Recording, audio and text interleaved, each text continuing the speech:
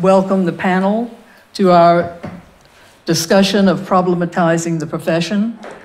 This is something of a historic moment. We don't want to sound like we're uh, involved in something funereal. It's look, we're very much looking to We're the, to we're very much looking to the to the future here. But the the the moment of bringing together Matrix, Muf, and Parlour from a feminist perspective is something of a landmark. I don't think it's ever happened before, has it? Um, I thought I would. they're, they're, they're, they're in denial if it has. We've had a lovely, Well, last week, we were actually last week. Huh? Oh, sorry, Lynne. Uh, We but were all in Melbourne last week. But we haven't all been together in this space. No, we haven't been here at the AA together, no. how about in, how about at the AA in London? We'll Yeah, no, settle we've for that, never, we've never met. No. Well, We all love Jos. I want to just start out by introducing this rather lively group. I, I, I, I, I'm sort of having to uh, say that they're, they're on their own. I, I- when, I, when I emailed them to tell them what the panel was going to be about and how it was going to be structured, they all emailed back saying, no, that's not the way it's going to happen. So they have designed this, this uh, panel, and, I'm, and it's all the better for it, too, I must say. Let me just start out by saying that we have uh, representatives from Matrix, Muf, and Parlour, uh, uh, and just go around. And Julia can kind of, uh, so you're, you're known. Julia, I'm not going to read your entire wonderful biography. Everyone has that in their pack. But just to say that uh, she is an Aussie who studied architecture there and in the UK, including a time here at the AA. And she, if, if you look in the back of, of the book that we've written about women in architecture at the AA, you'll see quite a few uh, references to one uh, Jay Dwyer, who uh, is is a very articulate person as well as, as, as a, a brilliant uh, designer who's concerned about these connections between architecture and society, which links her research and practice. So that's Julia. I, when we think of, of Matrix, it's impossible for those of us who, who know the members of Matrix and who are members of the sort of larger architectural community to not think of Sue Francis, who was uh, uh, one of the sort of strongest thinkers, most, most creative thinkers that, that I know about the issues uh, that, that we're concerned with here today, about the connections between art and society, for example, about participatory design.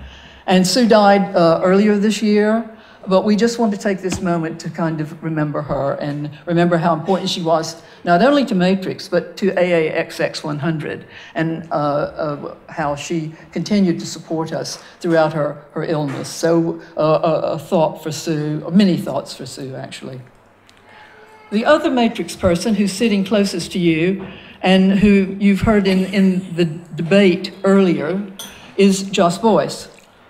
Jos uh, trained at the Bartlett, and she has been involved in community based practice, research, and teaching since then. And she's uh, last appeared here, now I'm going to be corrected again probably, but she last appeared here at the AA talking about uh, disability and design, which is one of her, her current interests. So that's, that's uh, Jos. Liza Fior of Muf I think the best thing, uh, to, the way to describe uh, Liza is, uh, is to say that uh, she will describe herself. but the, my favorite Liza story, which she told me, and which is, I think, in her, her uh, uh, bio, is that Muf really emerged from the AA. Uh, she met Katherine Clarke while she was teaching at the AA, and they, with Julia Bidgood and Kath uh, Shonfield, uh, took advantage of the Unit 8 room here in the AA on Saturdays to begin working together, which was really the beginning of Muf, which she's going to be talking about today. So it's really in conversation with each other and with other students, which, as she put it, provided the ballast which came afterwards. Uh, Justine, who's looking at me in a, a very serious way. She's the architect, is an architectural editor. Uh, she's perhaps best known to those of you in the room through the, the website, the Parlour website, which is uh, a fantastic platform, which I'm sure she and indeed um, uh, her colleague will be talking about uh, in a few minutes. But she has a very distinguished uh, life outside of Parlour and uh, is former editor, for example, of Architecture Australia, which is the journal of record for Australian architecture. And finally, uh, Karen, Karen Burns, who um, uh, many of you know her work.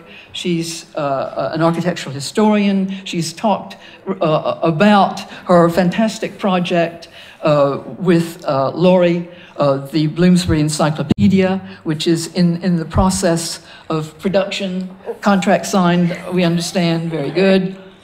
But she's a writer and has written widely on uh, women, feminism, and architecture. So uh, that's really the intros. Um, I thought I would just say a few words about what we're, what I think is the kind of baseline as, as a historian for what we're talking about. When you're talking about problematizing the profession, what is the profession that you're problematizing? And on the screen here, you see a, a photograph of two young AA graduates and architects who are um, undoubtedly delighted with being in the profession.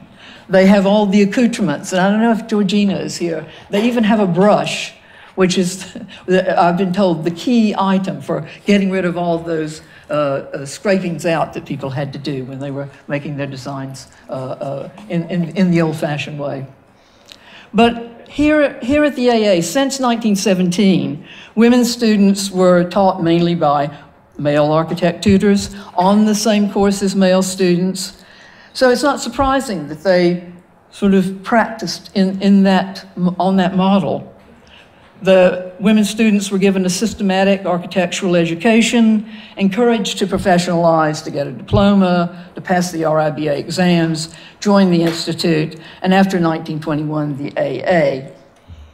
They aspired to professional practice. They did not challenge the professional structures. They wanted to participate in them. And as this photograph indicates, for many, it was a thrilling journey, an exciting journey. Um, they set up on their own, they put their names in the practice, they built up a client list, the bigger the better, and they promoted their work, taking care that it was published and promoted in the building press. And these were aims of men and women of the profession alike. Now, what we've heard uh, uh, and we'll hear this evening, and in some instances is in the exhibition and in the book, are the sort of threads of feminism that runs throughout practice over the last 100 years. But we'll let that develop out of our conversation uh, this evening. So uh, could I invite the, the first speakers, uh, speaker to, to come up and... Yeah, we're going to do it in relay. Uh, uh, yeah, as you wish. See, I tell, I tell you, they tell me what to do. Yes, yes. Uh, I'm happy, happy with that. Cool. Uh, So the order we're going in is chronological from uh, when each of these uh, attempts at thinking through architecture more widely and differently have happened. Um, so that's why Matrix is going first. Down? Down? down. Lights down? So I want to take you back to 1979. Some of you will have been there also, um, and some of you won't.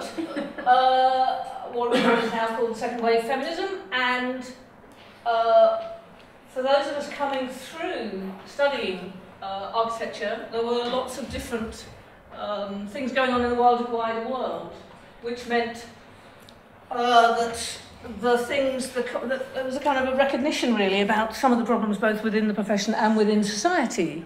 And the thing that was interesting for us, I think, working as, as students really, coming through places like the AA, the Bartlett, many other schools, um, was trying to pin down what that problem was. It's something Betty Friedan called the problem with no name. It was like there was something that was difficult, and particularly uh, difficult for women, and we didn't really know what it was. We didn't really know how to pin it down.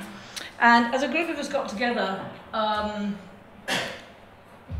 and again, it was part of a wider political thing. Was something called the New Architecture Movement, which was a, um, a political movement for unionisation of architecture, uh, uh, of architectural workers. Um, it became increasingly clear that it was it was that stereotype. You know, the women were still all making the tea for the men, and so a group of us got together, which was called for Bit Women's Design Collective, and was actually huge. Uh, you know, 80, 90 women in the room at one time. Uh, having arguments, actually, about whether you worked within the profession or outside of it. uh, big arguments. And, um, and we looked for what we could find that might help us deal with this issue. What? Because, you know, our tutors told us and the world told us that architecture is just a neutral thing. The built environment doesn't do anything. It just is. It's functional. And there's no problem. Um, and we looked to, uh, most importantly, really, um, American historians like Dolores Hayden and uh, Gwendolyn Wright. We looked to particularly uh, a really burgeoning movement in geography, feminist geographers, uh, people like Doreen Massey. So we found stuff elsewhere. We certainly didn't find it within architecture. There was nothing, absolutely nothing. We were kind of grappling. The word sexism didn't exist. We were grappling with this kind of um, uh, we're just trying to be able to say things. We, didn't even know what, we didn't know what they were in 79. And out of that came um, the NAM Feminist Group, Women's Design Service, and out of that came the Matrix Book Group. I wanted to show this version of the book. Somebody stole me. I don't. Well, of course, I can't tell you what architecture school got stolen from, because that would probably cab who did it. But um, because that's the state of the book now. 1984, it was published. It's been handled by a huge number of people. I get emails, and we all get emails regularly for people asking us um, for information about Matrix, and uh, that's to show you how many people took it out. I mean, from my point of view, maybe this architecture school, which is now obvious. Um, sorry, Barbara. Could have, could have, you know, got some more copies, but there we go. What we have is this beautiful, beautiful kind of remnant uh, of a book that's currently out of print and which we have every intention of getting back into print. If you want to pay 150 quid, you can, you're welcome to buy a copy. Um, and, and then I just wanted, I'm not even going to talk about what was in the book, um, but we can talk about that more generally if required. But I wanted to talk about the kind of waves that came out of it, because I think, obviously, Julia will talk about the architecture practice, but it was a moment, and particularly in London, there was a moment where um, opportunities arose. There were um, left-wing uh, filmmakers. Mm. Uh, there were opportunities to put stuff on Channel 4, which was trying to put new kinds of programs out. So, for example, um, and this is a, my dad made a video of the TV for me, which is really sweet thing, because he thought it was, was like, no idea what I was doing, um, which is called Paradise Circus, and which has lots of interviews with, it's about women in the city in in Birmingham, which uh, talked to a lot of women involved in that period in different feminist activities and activism, of which Matrix was one. And this picture up here is Anne Thorne, who went on to run her own practice, still runs her own practice, mm-hmm. um, uh, talking to the client of Jaganari, which was one of the key buildings that they did in that period. And finally, just because I wanted to um, mention something about impact, and it is, it's like when you're trying to pin down how it is that space is in somehow gendered and how you can talk about it, and I think there's lots of things that we didn't get right, but we were trying to explain something about that. Um, it's really nice to see, and again, it's a moment. This is 88. Uh, this is this is one of those boring male telegraph, you know, colonel type figures writing. Uh, but he's saying this was a really good program. The women were actually really sensible about the system and how they should be designed. Some arguments seem slightly confusing and convincing, but this did not distract from the conviction of the film. So it was kind of part. It, it kind of grew and grew really for a bit, and then. Um, uh, politics changed, all sorts of things made it much harder to operate in the way that we were able to. Julia just in terms of simple historical fact, I think I, I wasn't really intending to talk about Matrix uh, as a kind of narrative about the practice in detail because we've only three minutes.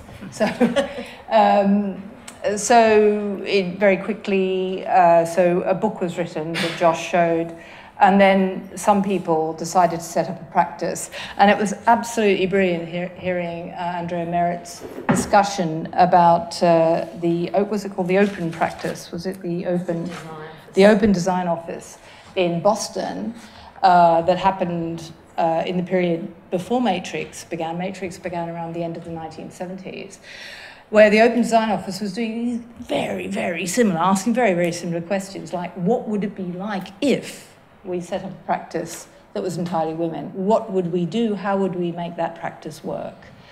And uh, we didn't know about them. I mean, it's just extraordinary. All we had, we've had, as Jos said, we, we knew about feminist anthropologists, apparently. I didn't know about them, but the true founders of Matrix were three women, Sue Francis, Fran Bradshaw and Anne Thorne did. And they had actually a conference here called uh, Women in Space. Women in Space. And some people, of course, thought it was about astronauts. it was that period. Uh, but it was actually in, in influenced by feminist uh, anthropologists who were doing that kind of work, the kind of work that we didn't have a name for. And also, uh, as uh, Lori said, volume 11 of Heresies, which was an American publication about women in architecture. And these are like, it's almost like samizdat. They were precious print medium things that we knew. We didn't know anything about Boston. We didn't know a lot. Um, so we embarked on exactly the same experiment just a few years after uh, the architects in Boston. Uh, and uh, I was just uh, using this talk as a time to reflect on what we did rather than go through all of the things that happened. Uh, and looking back over the uh, 12 15 years of Matrix's existence from about 1980 to sometime around 1992. And the things that uh, I was drawing out. And, and for this event, I decided that, we decided that. Um, we would be interested in the tactics that were adopted given the conditions of the time that were mutating through that decade. Uh, and, there were, and, and there were feminist tactics. So the first was this idea of exemplary, which is not a self congratulatory thing, although it's not a particularly great word, but it is a good word because we were trying to provide an example more to ourselves than anybody else about how you made best practice. And you, you did it root and branch. You, you, you redesigned practice in every, on every level. Um, I've shown a few images of things that I just found, you know, in the bottom of a drawer, in the bottom of a box. Uh, uh just uh, as, as a corollary to all of this, which is where are we going to put all this stuff later? And this has been a, a running discussion in, in the conference so far. And that's a clip from Building Design. Building Design, um, the trade paper for, the, for, for architects in the UK, um, did a series on women in architecture, or on new practices actually, women in architecture. And that's a very embryonic matrix in the uh, third image uh, to, uh, to, your, to your uh, right. Um, we set up in someone's front room uh, and of course, what we did was we formed a co-op because that's what you did. We went and talked to an, uh, another embryonic architectural co-op, Cazenove, and we found out from them how you made a co-op, and then we made a co-op. And then we did lots of other things. I, I, don't know, I mean, lots of things, the sorts of things that the Boston women had, had experimented with that we didn't know about, like equal pay, relatively flexible working hours, not that flexible, but relatively. Uh, a really conscious practice around how we went to building sites. Um, uh, and I'll go on to talk about the way we work with clients. But um, we also felt it our duty to write to the paper when things came up. So there's an example. But because we were an exemplary practice to ourselves and, and it became clear also to other people. So we needed to take on um, the many, many artic- uh, letters that came into building design, taking exception to this series on women in architecture. Why are women doing this? You know, why? There was a very long one that I haven't clipped here, which is about women really needed pay attention to the next generation and not be architects, such thrusting architects. We didn't think we were very thrusting, but and that was a woman. So you know, we found. So we wrote that we uh, needed to, you know, address fundamental questions concerning the philosophy behind design. We must challenge those questions and all of those things. So, thus spoke some very young people. Um, and we got on with it. Um, so, just the first tactic was this notion of addressing practice, root and branch. The next one is one aspect of that, I suppose, is we, we set out only to work for uh, publicly funded projects. Um, and so that's this notion of selectivity, who, what clients we address. We didn't do loft conversions, we didn't do private housing, we didn't borrow from the rich to pay for the poor, that the Boston Collective did, so that's a difference. And there was a climate just about in London which allowed us to survive for a while doing that kind of work. So you see a social housing project there, Jagonari, which is a, a building uh, where the client was a group of Asian women who wanted a, a women-only space in, uh, in Whitechapel uh, a nursery building in Southwark for the council, and uh, sort of a statement of our of our intent. So, and then uh, there was very very much a notion of, in, of enabling. So uh, we the another difference with Boston was that we were able to get a lot of money, I guess, from the GLC, Greater London Council at the time, the Women's Committee blessed soul, um, to enable uh, technical aid for women's groups or groups that benefited women. So we did many, many, many projects, all uh, in Greater London, to help people to put in uh, applications for funding for building changes. And then uh, there was this thing about uh, the word instructive. We, we were firstly always engaged in discussing what a building process was with our clients and, and doing classes around drawing with scale drawing, all kinds of tactics around involving people in the building process. And we also were aware of the legacy we needed to leave in the form of printed books once the Greater London Council, which was then led by Ken Livingstone, was, was closed down by Maggie Thatcher, well-known event. So we left a legacy in terms of printed material uh, as well. Um, and uh, we, the two big projects were uh, a, guidebook, if you like, very unfashionable. We were, it was even unfashionable then, but we decided we needed to do it around building buildings for the under fives, and also a, a, a quite an extensive leaflet promoting a career in the whole in building, in the built environment. So we covered all, we were very, very clear that architecture wasn't it, it was only one of many things, and you could also be a woman builder or a surveyor or a, anything like that. But there needed to be more women in all those fields. So that's what we did. Um, and then uh, the next thing I'm reflecting on, I suppose, is uh, oh, so that's wrong. Okay, so is the tales, if you like, the threads that Lynne mentions, which is, of course, a natural uh, word to use around the sorts of things. So, the sorts of things that these kinds of very uh, ground up or root and branch sorts of experiments lead to. And I'm only going to just list very quickly the things that are directly directly connected with matrix, not the ripples, not the discussion, but the things that occur to me pretty quickly. So publications and polemics, um, you can't see the text there, but it's a series of demands by women um, academics for how to improve architectural education in architecture school. So that's a list of demands. I won't go through them now, there isn't time, but they're pretty good actually, they still apply, yeah. um, of course. Uh, networks and events, so a whole raft, a ripple of networks that all of us were involved with it to different degrees started to happen in the period after the end of Matrix in the 90s.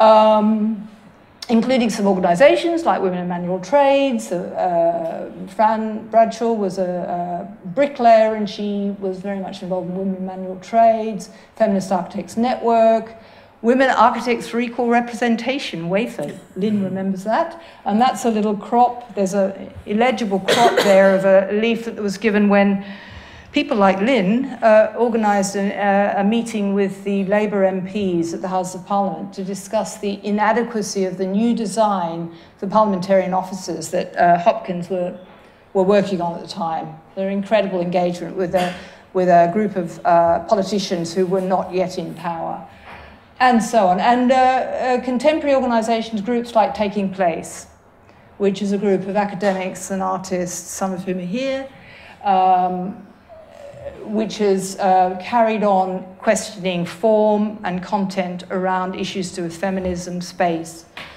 and so on, and all kinds of other groups, Architects for Health, uh, Association Community Technical Aid Centres. New practices, I haven't listed linked practices, I've just listed practices people set up, Anne Thorne Architects, Women's Design Service, and then teaching some of the feminist practices, specifically the Women into Architecture and Building course that was set up by Yvonne Dean, who was at the AA, uh, and then taken on by Sue Francis, Lynne, Lynne Walker taught on it, and all kinds of other people.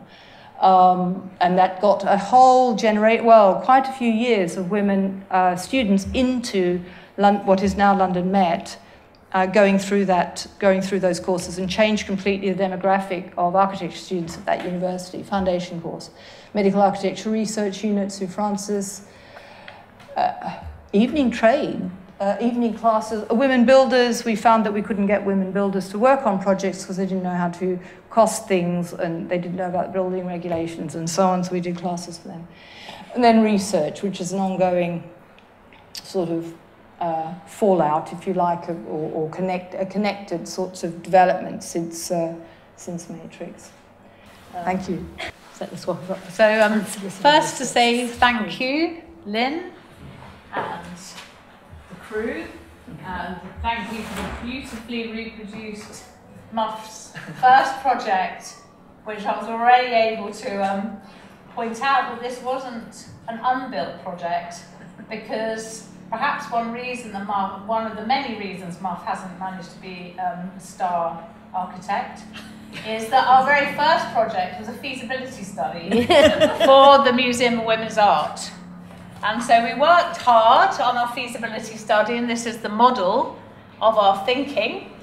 And after three months' work with um, the organisation who were setting up um, just around um, the first lottery funding, we came back with our conclusion, which was they didn't need a building.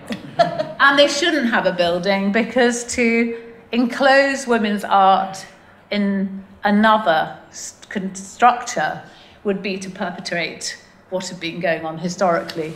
So um, yeah, that so it's all explained in the book. I'd also like to say, so I'm here representing Muf. Um, ironically enough, and beautifully enough, uh, the studio, um, all 12 of them, are drawing. Um, because there's a deadline. uh, we, but we have, do have here, we have Sarah Hershey, wave, uh, Mel Dodd, 97, um, Helen Thomas, and Elke Krasny, who are in different ways um, members of the studio and, and, and collaborators.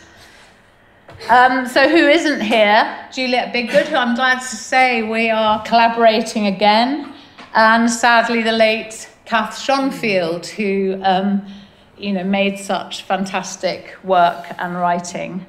And so I think each moment, what's important is to think of the way the overlaps is not that each individual practice, and I think going back to the conference so far, the danger of the monograph is to assume this sort of contained, tidy organisation of history. But perhaps what is particular is the time which one works in. And so MUF was set up in, um, during Conservative government, there's no such thing as society, and there's also no such thing as funding the public space. Um, we um, set, MUF was set up to make space to make work. And um, I personally was very clear, I was pregnant at the time, that I would never work again. And that was the last year that I worked, the last year, six years at the AA was the year my first child was born. But we were also making a space to explore the overlaps between art practice and architecture and conceptual art practice of questioning um, limits and, uh, and eccentrically enough, establishing like Matrix that we weren't going to do domestics, which is a word that describes both um, architectural commissions and, and murders. And so this is the, um, this was our New Year card for this year of that idea that we are complicit. the projects are loaded. And if we're going to frame MUF's work within histories of feminism and think about intersectionality and privilege, and that I, I too had free school dinners, but I'm also in a place of privilege. And how do we, when we find ourselves in projects and complicit, establish where we make the compromises in order to make um, a contribution? Which um, and and we do it through unsolicited research, the work that isn't in the brief.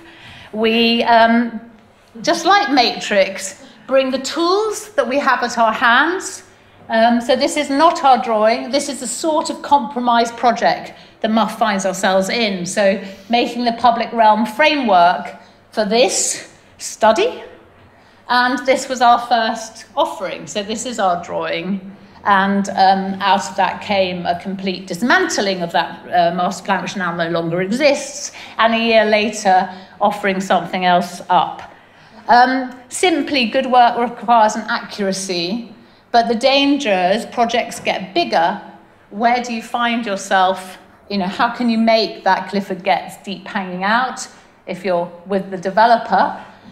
And um, you are, as an agent of expensiveness, in that privilege. You know, where, where do you expand the brief? And we simply do it by making sure that we always have a wedge in our pocket, nice fruit wood, um, and stay in the room long enough. And I think that's how MUF have matured, is we're get, getting sacked later in projects, um, unlike, say, the Dome. Stay there long enough to make use of that privilege. Um, and in doing so, begin to change the meaning of the situation and the brief. And so this is a nice little slide from 69. The creche is in the, in the director's office. And of course, all that means is, is the baby under the table, which reframes the desk as the playpen.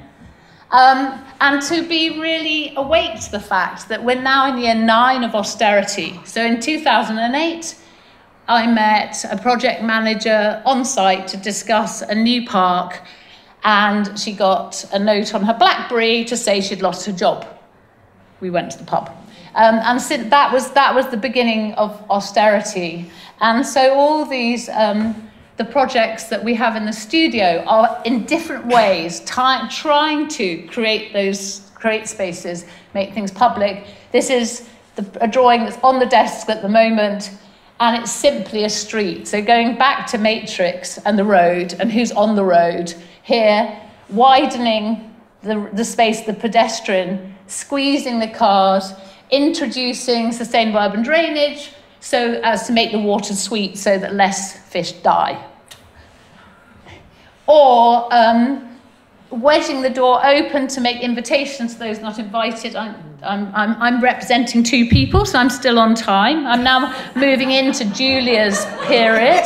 Um, but I'm going to stop before she does. I'm going to do like Julia's first slide. And so um, this was the invitation from the V&A was to take part in an exhibition which they had named All This Belongs to You. We um, invited women for refugee women to test the edges.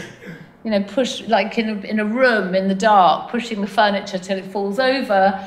And um, we had to uh, threaten to leave the project when we were told that the solidarity quilt couldn't come in, and um, and it did come in, uh, and there's the table.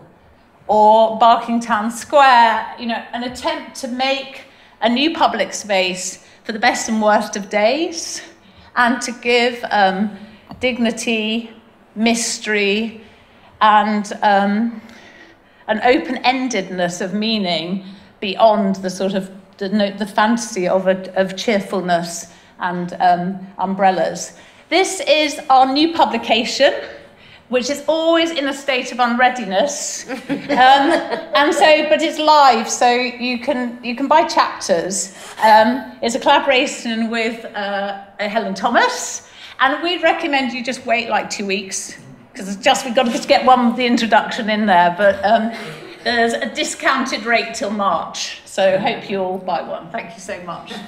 Um, so we're going to tag team. Um, we just wanted to thank Lynne and Elizabeth and the rest of the team for the invitation to come and present on this panel. It's extraordinary to be here with two practices that we have admired so much. It's a great honour.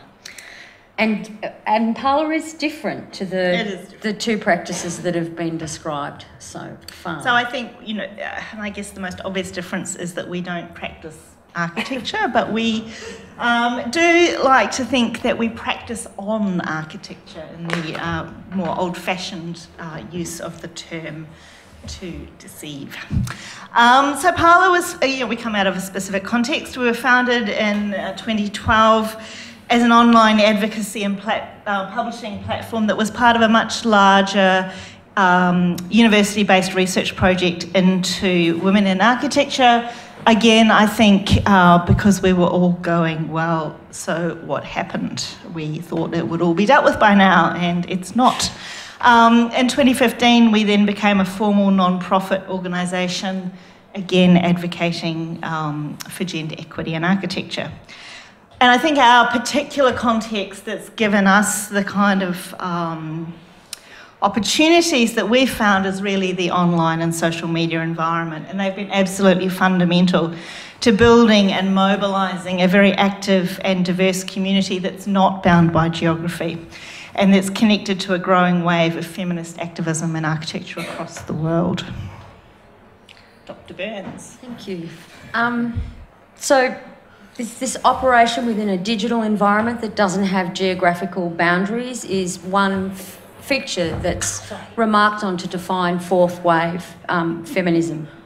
Another key feature of this phenomenon is data, whether it's big data, small data, institutional data, data that we've skived away from our slightly dodgy online surveys.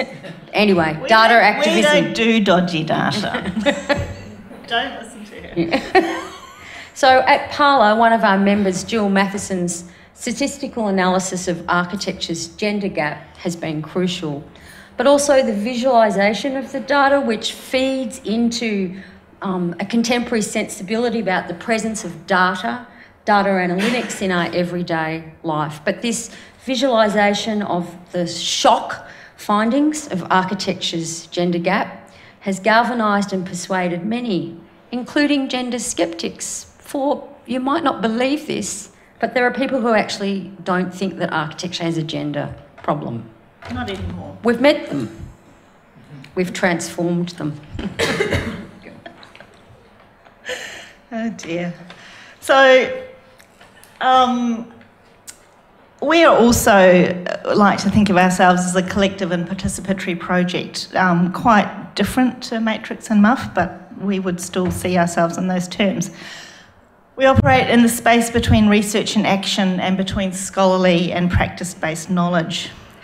We've worked very hard to embed questions and issues of gender equity at the centre of discussions about the future of the profession. Um, we ran an event some years ago called Transform Altering the Future of Architecture, where we asked if architecture was more inclusive, would it also be in a stronger position? And of course, we think the answer is yes. So rather than um, locating conversations about gender to the margins of the profession, um, we would want to claim that these questions are fundamental to, to transforming architectural practice in the mainstream as well. So, like good 1970s feminists, we provide DIY tools for change. I wanted, yeah, I know, I always say it the wrong way. I wanted them to have this very retro Macrame. macrame feel, but we've gone for high quality design by Catherine Griffiths. Um, the 10 parlour guides for equitable practice encourage institutions, employers, and employees to attend to the work and labour practices of architecture. The guides provide concrete, tangible information on a range of issues from pay to flexible work. They're written in user friendly language and demonstrate the different forms of agency and roles available for changing the labour practices of our profession. So, look, we do lots and lots of things, um, and this is just a sort of small snippet.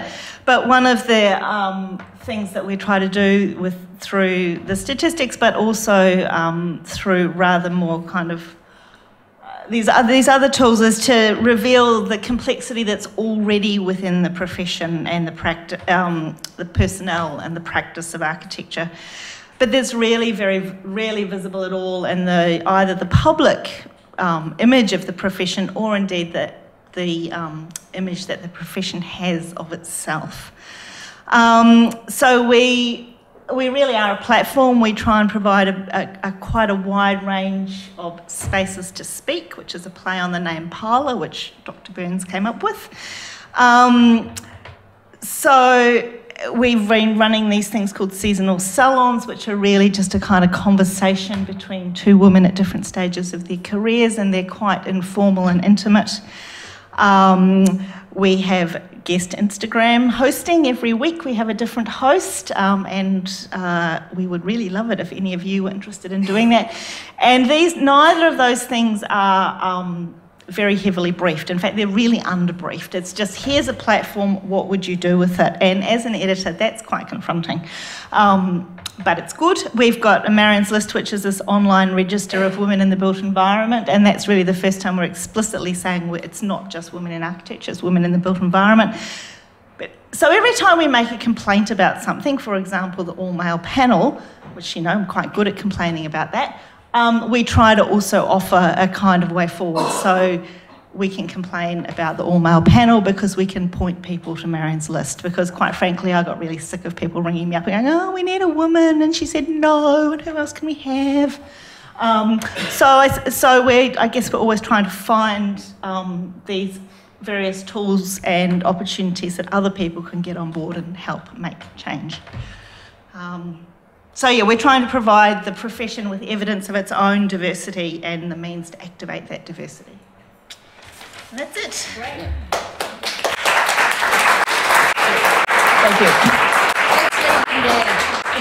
Thank you so much, um, everyone. And um, I, I, think I think um, uh, we'll just, given the hour, open it up to the floor. Uh, please um, uh, uh, put your hand up and have, have your questions ready. Or like a Quaker meeting. Anything that stirs you. Unshaken but not stirred. yes. Hi. Um, I don't know if this is uh, even relevant, but um, before I ask my question, it's such an honour to be in the same room as all of you and all of you um, as a young female architect. Um, who is Marion? Ah, Marion. Marion is Marion Mahony Griffin, who was um, Walter Burley Griffin's um, partner in business and life, um, designer of Canberra, the capital of Australia. Um, very influential in Frank Lloyd Wright's studio. Um, Karen can tell a lot more about Marion. She also wore a silk something or other very nicely. Um, she was. She came out of Chicago, which is a really important town for radical social thinking around urbanism. And by no coincidence, it's Obama's hometown as well. Mm-hmm. It's this amazing history of urban organising. And so they were, she was connected into social movements and feminism. And then in 1911, she and Walter Burley Griffin won the international competition to design the new federal capital of Australia, and they designed it in a really interesting way based on an American model of participatory democracy. So the building at the, at the centre of the top of Capitol Hill was a people's space where, where there was a space for people to speak and citizens to engage in the democratic process. So we wanted to brand this idea of a digital register of women in the built environment with a particular name. And for all of those reasons, it made sense. Marion was very connected into the uh, suffragette movement in Chicago, and then she, when she moved to Melbourne, she was able to maintain those connections and connect into local suffragette organising. She and Walter were against the First World War, so they were unusual in Australian architecture, which was terribly conservative. That they were radical social organisers, and they had this idea of participatory democracy in this space to speak. So we named the list after her, even though she's not an Australian. We, hmm. as we do, we adopted her, and like we do with New Zealanders, and we claim them as our own. But and the other thing is, for a long time, it, she was this remarkable drawer, and for a long time, the, there was a sort of assumption that she'd just done the drafting, and it was all really Walter's idea. So we also, um, I suppose, there's a, a large effort to reclaim her as well. So and to put the idea of the partnership, Yeah. which can't necessarily be disentangled, you know, at the centre of that model. But that's a good question. So we name everything. We spend quite a lot of time debating about what the names of things Karen names it. should be to because it's part of the intellectual branding of the projects, um, and this has been really important. So I think in Australia, Marion is pretty. It, it's a pretty recognisable name straight away that people, that you know, not actually not everyone knows, but we assumed that they would. It's also you know it relates to Emily's list, the sort of uh, so it's a kind of. Would you, would you to have been able to make the work without grants? but Matrix, I mean, it could, uh, because tomorrow there's some young, the young next generation. There's, um, I know Albin speaking, and uh, there are other fledgling organisations in London like Hive Vid, but they make they kind of they work they work all day and attempt to make the work in the weekend. And I just wondered, do you think Matrix could have made the work without the grants? So all of it was public funded. Yeah. Um, but they weren't grant. It wasn't. I mean, grants. The clients. But like you're the one of the women's committee, the money So for the technical aid. publications. There was there was qu- about forty thousand, which is quite a lot then, uh, a year for technical aid. A lot of money. uh, uh, there was about. Uh, it, it was. I think it was. It was. It was less than half of the income of the practice. So the rest of the practice was getting money, but it was all public funded. And so other people were making grant applications for their buildings uh, to do that too. And, and actually, it's very true to say that, or, or some of it was just regular housing, housing corporation stuff, housing association stuff, like, like stuff you've done. Um, so yeah, probably 60% or so of the work wasn't directly grant funded. But Uh, forty percent was. and 40% was only for a period though, a couple of I'm years. not, I'm not attacking. Yeah. I'm isn't it more that Yeah, you We should have it now. be shouting for it? We and I should think, have them now. You know, in a way, this little exchange is an example about the way that women are not supporting each other. To kind of think about like moving forward, speaking loudly for what's needed, and um, the way that, say, if we think about the GLA housing design guidance, although they enshrine some things, they, you know, that there is very little work being done about the interior of domestic space at the moment, for example. Um, But Liza, you seem, or Muf seems very good at getting public funding for your projects. I mean, from local authorities. The projects that we show Yeah. are um, they're, they're, they're, they're projects where the funding comes from commercial development. These are 106s, these are deals with the devil, these are um, cross subsidised by us effectively by the little we um, earn because it's the assumption in the fees that are competitively established that they're going to be done in a fast and dirty way. Um, so, uh, yeah. I mean, I, th- I do think the money's incredibly important, and I think it was a moment in London because of the GLC, because of Ken Livingstone, because of the Women's Committee, where funding was there, and there were technical aid centres and all that. So, And, and I think the sort of funding sources now are quite different. I think the possibilities of crowdfunding are actually rather wonderful. Time consuming. And time consuming. Yeah. Well, actually, applying for grants yes, was also very time consuming. It wasn't just they said, oh, give you the money. You had to, you know, it was a competitive process. And, and we certainly spent. And, but, but I was going to say, I think that part of that was um, that there were real activist networks. And again, You know, you have to think of a world with no social media. So how those activist networks communicated and um, how that kind of got spread. But I think that those sorts of opportunities, so I do think the money, I think it's really key, the money. But I think the thing that was fantastically strong, which Julia showed really, really well, is it just expanded into all these different things because that was possible. There was a kind of there was a whole set of different activist movements that did But it is true. did collaborate, and so you had a kind of energy that you could build up. But since this is being recorded, it is true that we have managed to argue for the kind of extras, so making the bid to the Museum of London to do a public archaeological dig for Altab Ali, so that when the brief isn't sufficient to in some way reflect the situation you're in, then finding the ways and means to um, enrich it. I think we're also in a moment of resurgent social activism across a whole series of domains, and we have um, different ways of organising people now, which are non-physical, and that that you know is that has positives and negatives as well. But it does really enable these transnational connections. And if you think about the campaign around the Pritzker Prize for Denise Scott Brown, you know it's an extraordinary instance of a global feminist campaign in architecture.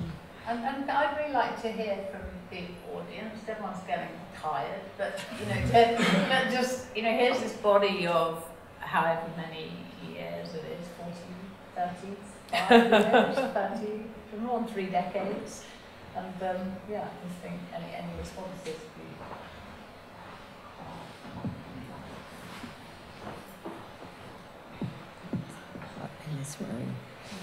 So I actually had a, a, question that was brewing before you invited that, Liza, but um, thank you very much. Um, I am picking up the question of the public and the question for today that you raised, Liza, in relation to the 19, late 1970s, when public is, you know, what is it now?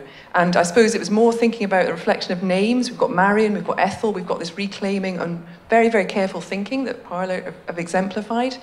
And yet we've got absolute facelessness and um, in terms of the public and the, um, uh, you know, the patrons um, is, is not the right term, but the, the, responsibility. Where is the responsibility? And how do we navigate that in a world where we're actually taking a lot of responsibility as making the built environment um, and actually being very, um, uh, you know, very sort of open about that, and yet we're meeting developers, um, uh, you know, kind of agencies in all the sort of space of global capital that evades that constantly. I just would be interested in some comment on that.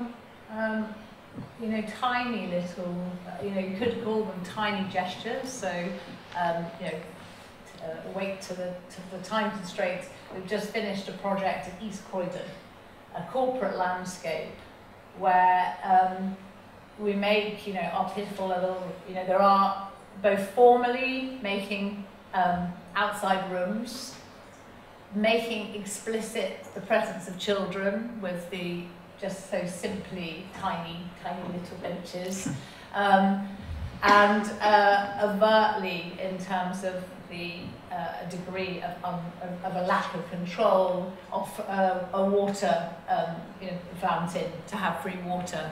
You know, these are tiny little gestures, and each one is a, a fight and an argument for it, and I, it's not heroic. I mean, Muf, Muf were invited to Vienna as a keynote speaker, um, a, a, a, really good conference called um, Crisis or Critique. And it was like, don't make it look fun. Don't make it look creative, Liza, this, this designing your way out of these limitations, because we're almost in that rubbish place that London's in. And so I, I you know, framed the talk as the Ghost of Christmas future, um, that if you think of the energy one puts in to make the space more public, if you were able to put that energy into the making of the space, how good that would be. So I, I think it's, it is contingent on us all to, to be political. Um, and, and it's exciting, you know, this moment in London, Sadiq has said, we want good growth. You know, what does that mean to have development tempered with experience? And, uh, you know, myself, my rep here, as Mayor's Design Advocates, kind of what can we do to argue the case for the non-monetarised you know, value system? I think one of the um, things that Parlour does is um, we can test the public realm of mm. architecture. So this is the realm in which representations circulate of the profession and its goals and its membership. And, and we know that that image has been complicit with austerity and neoliberalism um, and design for the 1%. And Parlour shows us the kind of everyday life of many, many women architects who do fine work. Um, there's a big tradition in Australia still of public realm work, of commitment to civic architecture, small scale practices, domestic practices, and it's about contesting um, the dominant image that's handed down to us, the idealisation of star architecture, when the reality is that most people's lives and practices in their professional careers are very different and contribute something really different. So it's very humble, but it's kind of, in a way, in its own gentle ways, taking on that, that giant of representation. I mean, when you said it just kind of grew and grew and grew, that's exactly what happened to us. I mean, we set up a website for a research project and it kind of went feral on us, um, which is, you know, a great thing. But, um, I can't even remember where I was going with that. I'm terribly jet lagged. Um, really, my mind's gone blank. I'm very sorry. Um, can, I, can I, sorry, can I just step in? The audience will fill in for you. Make notes. I'm sure you will remember. Yeah. I, I will. I will make my uh, my comment, if I may. Uh, I have to say first that I am absolutely delighted to see the culture of architecture that is happening here. You know? I, I, I, feel that I can be a little bit more at ease uh, with this panel. It's, it's, it's, really wonderful. I have to make a comment though. Um, from what Liza just said about the humble, the humble acts uh, that one can, you know, fight for.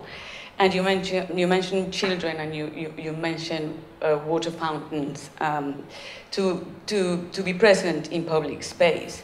But the thing is that we are in a very difficult position at the moment where these little humble acts have been opted also for by corporations. And, and, and you know, Granary Square is just the main uh, example of this, by which the image of children in masses during the summer playing with the fountains, with the water, uh, legitimizes the privatization of public space.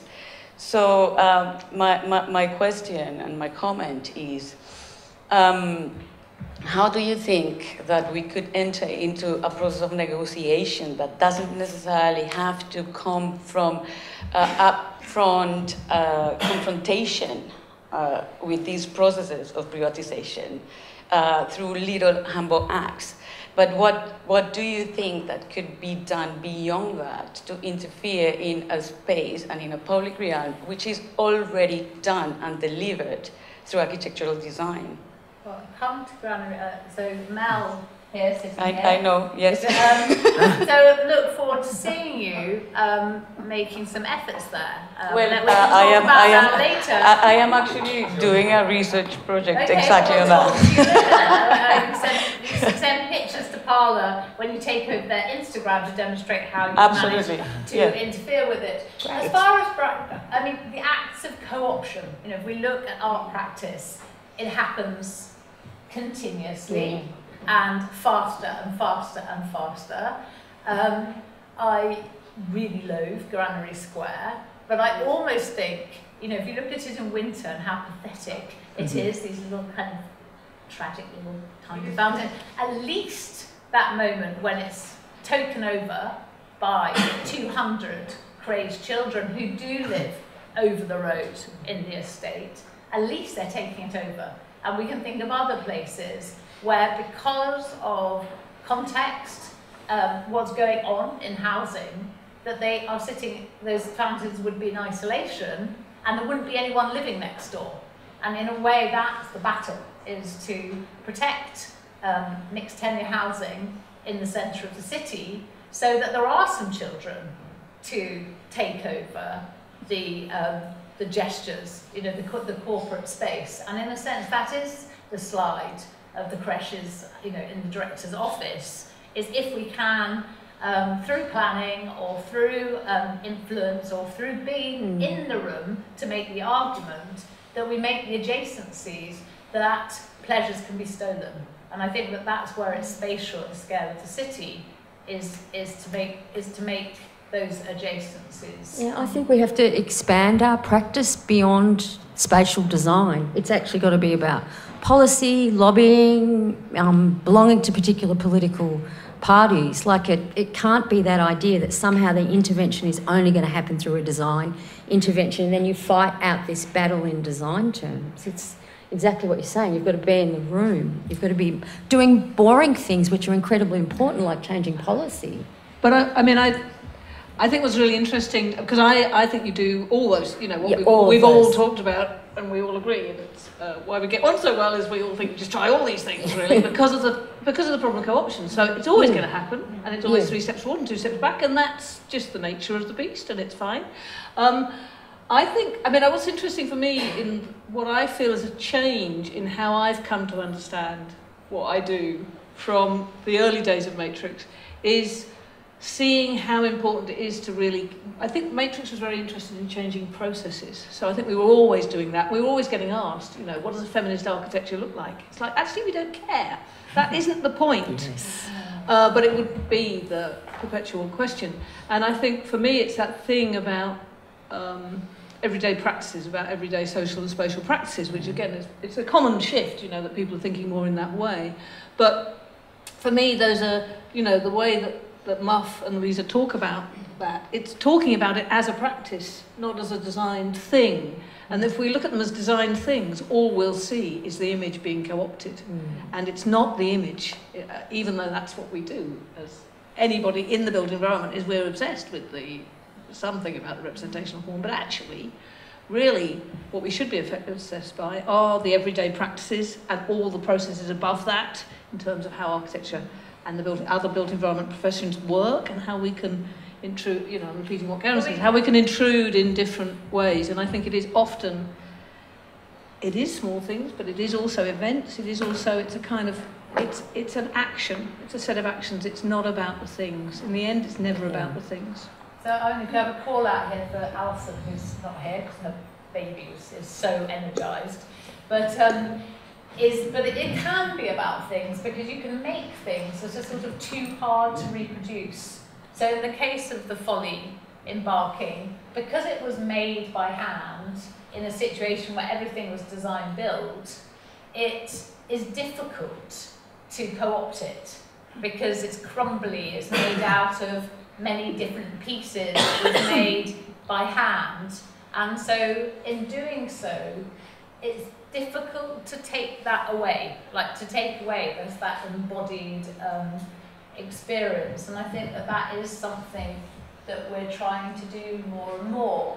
In the Wedging Open the Door, um, Katherine's big uh, practice at the moment is working with a Readiness for Work organisation and just making ways that mainly young men have um, experiences that can't be taken away from them in the act of making. So um, I suppose there, you know, there are other modes of, of thinking formally of, of what's made, like the spaces that are made and how they're made, and perhaps bringing in uh, a durational approach of how long they take to make them that keeps you in the room. I also think social change takes a long time, you know, and you have to be committed to it long term.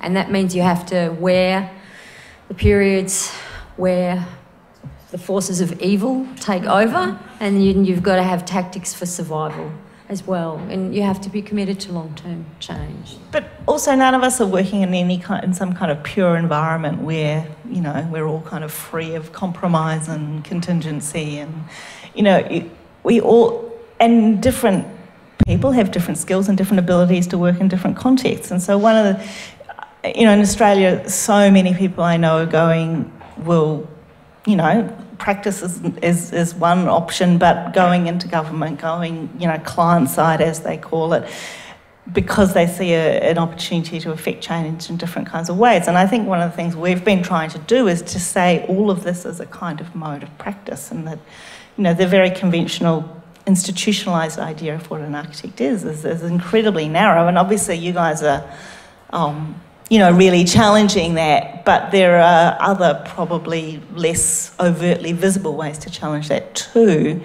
And I mean, the biggest reaction we got when we when we launched was, "Oh, it's not just me." And I think just building that sense of of collective identity through lots of very different ways of operating is, is quite important. I um, I also want to thank you all for being here. It's fantastic to have you all in the room together. And I think one of the things, just listening to you, made me think about were scales of engagement and thinking about the micro and the macro. And because some of you have a longer time frame to think about your impact of work, some are much more recent.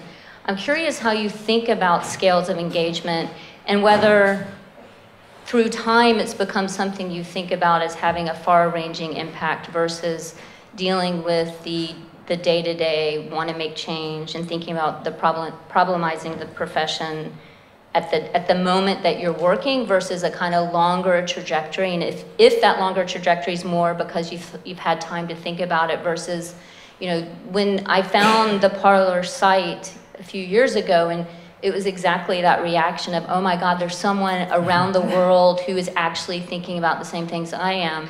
Like, what kind of scales of impact do you hope to have versus that you know you're working at on a daily basis? Because I think those are different ways that we operate or potentially can operate.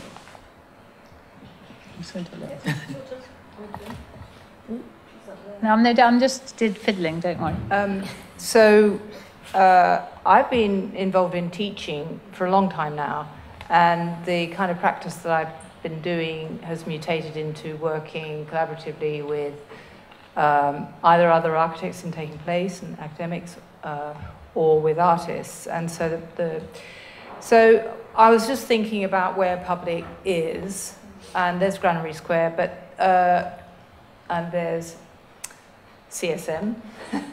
Uh, but, but, but, and that's, that CSM, just for example, which is next to Granary Square, is also a place where public things happen. And where I teach also, for me, is an extension of the public realm, actually, because the students are, although, yes, the universities are now semi competitive organizations and they're run by councils, they're still uh, very much within, operating within a government, unlike this place, uh, within a government um, context. And the students that we have, a large proportion are, for example, first generation university, first generation British, blah, blah, blah.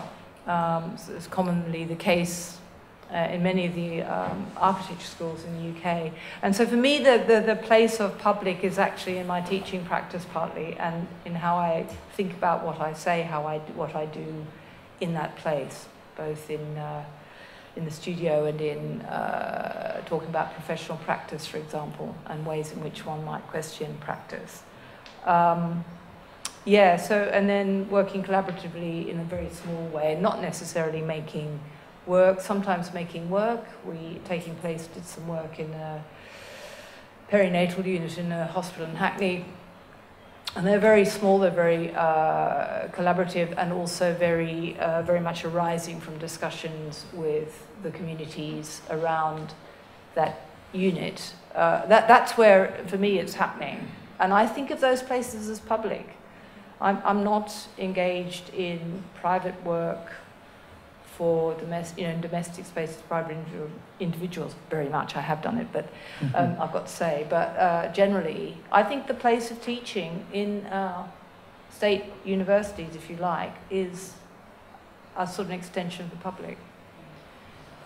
Could we have maybe one more question? Oh, I was, Lori, I just wanted, because that was a good question. So, mm. just like really going on celebrating Helen's place here, but the, the, doc, the, um, the so-called book I described is actually this online one, and it's about, um, it'll have everybody, it has almost everybody who's ever worked at MUF, and it's built, the dotted names are collaborators, so mm-hmm. Helen's in there, and uh, Mel could find herself, maybe, or Sarah could find herself, and then, you know, you click, and if it's a good but it, then you get um, the website of that person and um, probably not that person, but that person. There's the, there, there's Alison. Um, and so, you know, this is the recognition that Muf isn't, doesn't make money because we spend any extra goes back into the unpaid part of the project. So although we're very proud that we offer greater than the minimum maternity benefits and we offer flexible working, we can't offer a succession. You know, all we can offer is this extremely hard time, you know, but a hard set of experiences. But what is joyful is that when we look at that, there's a lot of practices. There's um, people like Sophie Handler who, or Nishat Anwar, whose work in the office, that unsolicited extra work, became developed as PhDs and they formed careers. And I think, I don't know if any of you want to have a word. Sorry.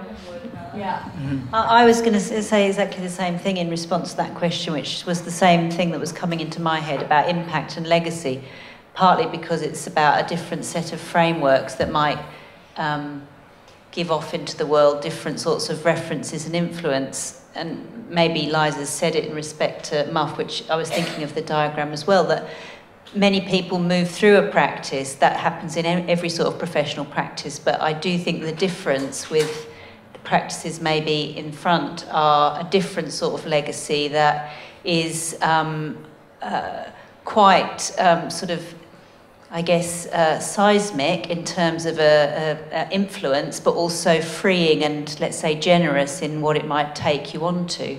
That's certainly my experience.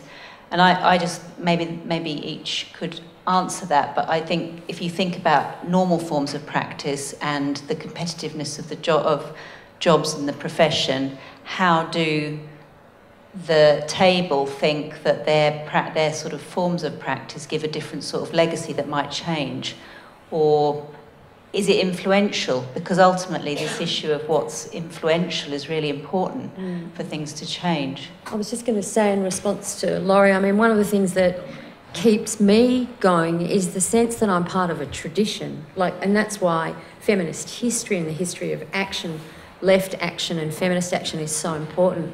Because when I'm overwhelmed by the prospect of change, I know that I'm part of a much longer term social movement. But I think one of the things that Parlour has done around that sense of scale and agency is that it redistributes the instruments of agency. So a lot of what happens is that um, ideas and tangible ideas for change are then distributed across various people in the profession who then go on and take them on in, in all sorts of ways. So instead of just this small organisation doing it on their own, it's, it's really about that collective so action. Perhaps that's, and that, perhaps that's the answer for you, is if the multiple humble acts yeah. come together, they can make their own little landslide. And, yeah. and, it, and also what's nice is you get paid so that's actually also my boss. Ah. So Mel does Dane, the unemployable. She, she employs me. Ah. I do a little bit. I do a seminar at CSM. So I think that there is these, the, this give and take, and the recognition of the huge investment people make in offices, but that actually, um, in order to make make this work and make your work, and and yet how it not you know one act nurtures the other. And but, so if you go to the theory of gift exchange, yeah, the gift that's held on to becomes a curse. Mm-hmm. But once it's handed on, it it sort of builds. I think, I think that's, that's very distinctive. I mean, my experience of that is it's it's highly distinctive as a sort of practice and profession that's different. It's not well. It's often uh, the competitiveness or privilege of other forms of professional practice, architectural practice, are totally different, and that that should be, uh, I guess, more foregrounded or understood because it's the a sort of um, a, a, really influential yet small scale. I just wanted to ask you something because I kind of I, it's a really really informative point. It's really good, but I was also thinking the thing is, I what's brilliant about some of the things we're talking about is, is informal women's networks. And that we're with it, one of the things, you know, we've talked often about spreading beyond the profession and not just being within architecture, but the truth is, this, you know, and, and it happened with Matrix too, that things, you make contacts, you make networks, uh, and, and those are strong women's networks. And I suppose I would think the only difference is that traditional practice within architecture is a gentleman's club. And there's loads of male networks and they support each other and they give each other work. And you know, if I look at my Facebook feed, the men are always saying really nice things about other men, but they never say anything nice about a woman. Maybe the people that are on my Facebook feed. I can tell you who they are. well, interfere with your Facebook. I think No, Sarah, do you want I to just say I just wanted to Yeah, yeah, there we go. say in response to that like, that the thing that Parlour does that I think is interesting that you all do as well is we don't hoard information. It's really about information sharing and that old idea that that's how you empower people. Knowledge is power. So you put put the tools together for them, give them the toolkit, they go into the world and they do it and it multiplies. And I mean, I, I Yeah, and I, I just Wait, just, just a minute. what I wanted to say is I just think that well today we talked about many different sort of topics and one of them was care and looking at how women traditionally like things that they're known for is care but then mm. how that's devalued and what I like about well I worked at MUF and I'm still involved in MUF and I've had mentoring from MUF not to be gushy but I, but but I, I think that's really important that women don't in a way overly masculate them like the masculinity sort of to become sort of the, the idealized version of a man where it's like i'm going to be tough i'm not going to i'm going to like be super masculine in order to make it in a man-made environment but to value what actually women are and what we biologically are sort of like I would like to say programmed to do and, and give that value and just like showcase that and say, yeah, we do care about each other and we can build networks. And if we help each other, then eventually, you know, we could be on a level playing field and then just value that in, in, Will you in general. describe your course that you, your course you set up though? Oh my, well, uh, my little architecture summer school. Yeah. I don't want to make this all about me, but yeah. Um, well, uh, from someone who comes from as a woman, but another thing that hasn't been discussed is a woman of color. I, I feel that architecture is not very, as we all know, diverse. Not not just in terms of sex, but in terms of race and class and economic background. So what I was interested in once I finished my architecture summer school, well, my architecture education was to set up a summer school for teenagers and young people to get them to sort of think about design as a as a something that they can go into that they probably never heard about. So I, I, I in myself wanted to build a network and then make use of the network that I had built with like and the network that Liza and I have together, you know, with and people at MUF, and just further that and be more generous in, in terms of like what who could who could actually see architecture as a viable career. No, thank you very much for that. And on that note of legacy and change, I think it's a very good time to thank our panel, We're already out of time. our keynoters.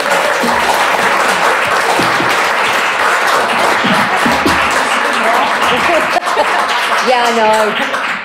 And to thank the audience for their participation and questions. And we could obviously go on a lot longer, but we have to stop sometime, and I think it's now's a good time. All right, Thank you very thank much. Thank you.